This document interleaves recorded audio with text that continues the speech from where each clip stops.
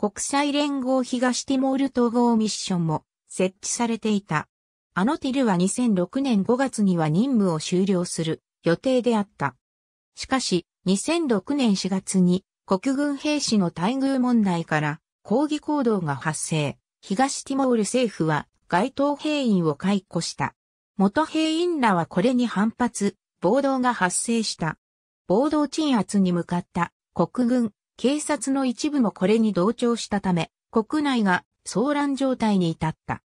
アノティルは活動期限を延長したほか、5月にはオーストラリア軍やマレーシア軍を中心とする多国籍軍が治安維持のため東ティモールに展開した。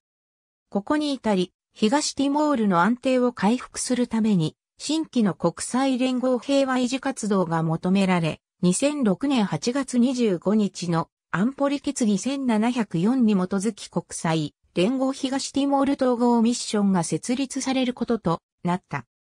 アンミットは治安維持の多国籍軍と協力し、東ティモールの安定を回復し、国家警察をはじめとする治安維持機関の再建を支援し、2007年に予定されている大統領選挙を円滑な実施の支援を目的としている。